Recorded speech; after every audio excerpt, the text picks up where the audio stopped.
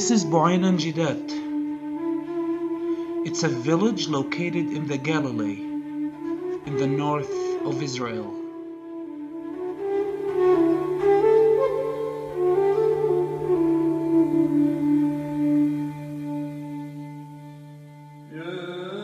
This normal looking village has many stories to tell. Growing up in the 90s, I had the privilege to hear stories from my grandfather and grandmother about the Palestinian Nakba.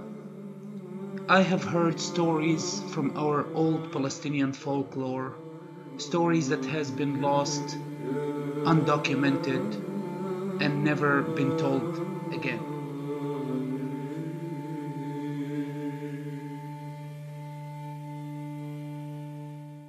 My vision is to use stop motion animation to create a movie that can tell these kind of stories.